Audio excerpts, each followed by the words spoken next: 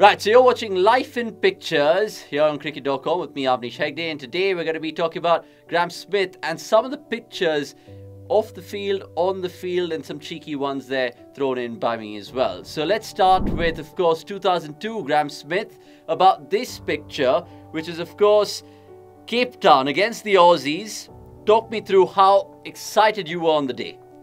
Yeah, that's my uh, test debut for South Africa, playing against the great Australian team. I can see Adam Gilchrist is up to the, up to the stump, so that means I'm uh, coming up against the great man Shane Warne for the first time in, in my career. I mean, I, I remember the first innings being the most nervous man in the world um, and settled through the game.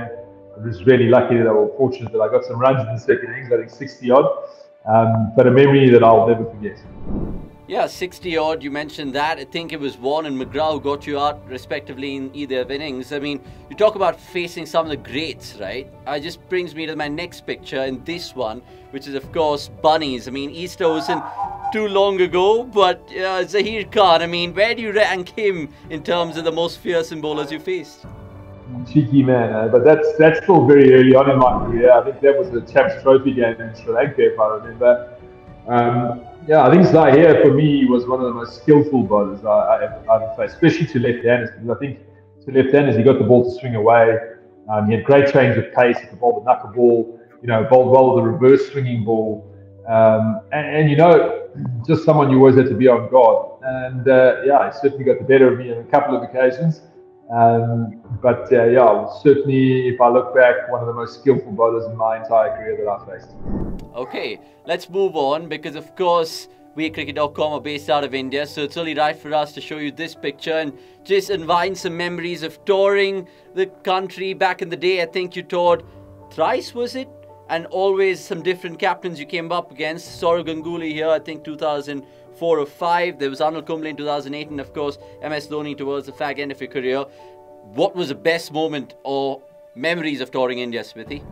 Listen, I'm glad you're picking all my skinny pictures when I was young and done it. I, I, really appreciate that. So, yeah, I, I mean, I think for me was the, the lessons learned in India initially, just uh, learning to play in the conditions, learning the culture, the people, I mean, everyone that comes to India speaks about the fan craze, the noise in the stadiums, the experience of, you know, cricket being a religion. But um, I think for me as well was just experiencing the way um, the talent, uh, you know, was so allowed to grow in India. I mean, everyone had a different style, a different way of playing the game, a different way of looking at the game. And I think sometimes out of like certainly out of South Africa and some of the other Western nations, you can be a little bit too rigid. You know, you coach, you maybe can be overcoached and various other things. But just just seeing the the natural talent and ability uh, of India was was just exciting. Obviously, been fortunate to make some good friends. You know, Dada in that picture.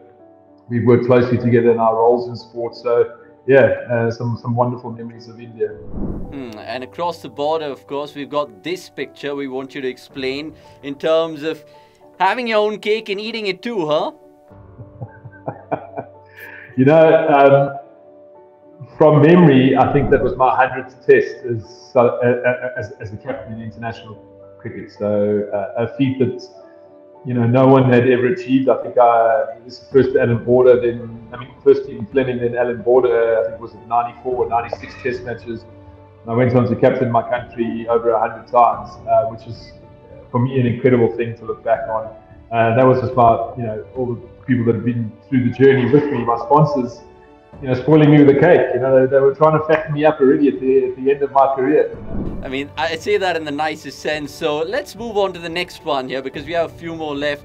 And this is, of course, perhaps the match of the career, according to you or many fans around the world. Just look at that scorecard and talk me through what was going through the halfway mark because 434, unfathomable chase, Smithy. Unfathomable and. Uh walking off the field after choosing, uh, winning the toss and choosing to bowl first, you can imagine I wasn't feeling that great as, a captain. But um, you know, went in. We had a very short space of time to turn the turn around, and uh, I was. I thought, let me pad up first because I've got to open the batting. I've got 10 minutes. Let me get that done first. Uh, start getting my head ready to bat, and we'll sort of get on to you know getting the team in the right frame of mind. Uh, and while I was padding up, Jacques Kallis came loitering into the room and said, Bowlers, I think we've done a great job. They're 15 runs short. um, which, as you can imagine, you know, when someone the team scored 434, it, it broke the ice a little bit, and, and everyone burst out laughing. We then set some targets, and everyone burst out laughing again. Um, and and then it was just about knowing, you know, I'm going out first. How do we get the team off to a, a good start, getting some momentum? Um, but what a roller coaster! I mean, I, I played well with 90 or 50 odd, but you know, Gibbs knock incredible, Ricky Ponting's knock incredible. Um, and I think probably still the greatest ODI I ever played in terms of the ebbs and the flows and the final ball finish and the emotions of the bull ring and the Wanderers. Yeah, indeed. The, one of the most spe- spectacular ODIs I've ever seen. I'm kind of retracing in my head and fumbling on my words. That's how excited I was I was as a kid watching it. Now let's move on to, of course, the longest format because unfortunately South Africa didn't win that many silverware in terms of ODIs or T20s, but this one would have definitely been special. Doing it at the home of cricket, I mean, talk me through the emotions at this point in time. Yeah, I mean, over this period of about five or six years, we built an incredible uh, test lineup. Mean, we I don't think we lost a series away from home for about six years, um, which is incredible. You know, the ability to travel and be successful is unique, and I think even in today's time is unique on a consistent level. So we we drew in India. I remember on that season we we won in England, won in Australia. Um, you know, we've done that back to back, some incredible feats. So yeah, I mean that was number one in the world. Beat England, uh, two 0 in the series, one at the Oval, one at, uh, at Lords. Um, and yeah, well, I think we became number one in all formats uh, around that period as well, which was yeah, it was a fun times. I mean, I remember. I guess the only disappointing part of that tour was you know Mark Boucher's um, terrible eye injury. Um, uh, so that was the only sort of uh, tough memory of that tour, but the rest was was incredible It was incredible. And of course, a test match career of yours spanning 12 years, exactly from March 2002 to March 2014. Let's speak of the latter right now because we showed you the one earlier. And this is a great picture. I'm sure you've got it somewhere in your house because I think it was that fourth test against the Aussies, again, Cape Town. I don't want to talk about your personal achievements in that test match, but you must have been a very proud man that day. Obviously, looking back, I mean, I don't have that photo. You can send it on to me. I'd love to, love to have it. But no, it was a tough time for me as well. I mean, not many people don't know that my daughter was young and she got burnt with uh, hot water, a kettle, um, while I was playing in the second test actually. So I spent every morning of that test match in, in hospital with her, um, having having surgery. So mentally and emotionally, I was a, a, little bit of a wreck. I probably, looking back in hindsight, should never have played that game. Um, I might have had a longer career, and might have, might have hung around a little bit longer. But uh, yeah, but um, decided to pull the plug on on on uh, as you say, a 12 year career playing for South Africa, captaining test matches over 100 times, know, 190 odd ODIs. I think I think someone said I scored over 17,000 runs or something. So I can't complain. Um, you know, just very lucky and, and lucky to have Newlands as my home stadium. So please send me that picture. I'd love to have that up in the house. we will try to send it to you from cricket.com's uh, shipping route. We can assure you that. Now, let's of course uh, finish up by showing you a picture which makes me sad, but nonetheless you chuffed, and this is this one. And Liverpool, of course, being the closest thing to your heart of cricket, that is, I'm guessing.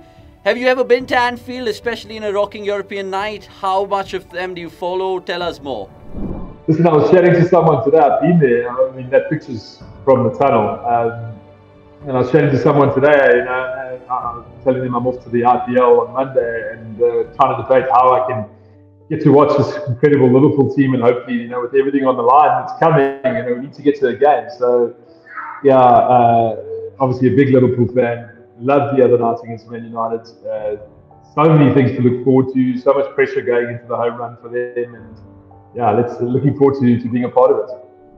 I'll tell you what, we're shooting this at the time where it's that pre-quadruple vibes. Hopefully, from a United perspective, that doesn't stand true. But Graeme Smith, it's been absolutely delightful to kind of unravel your career. There were plenty more. Let us know in the comments below which one you guys might have missed. We wanted to really get the other one out where he was batting with the broken arm, but we didn't want to make him remember some of the old injuries, so to speak. But Graeme Smith, thank you so much for your time on Life with Pictures. It's a goodbye from us and Cricket.com.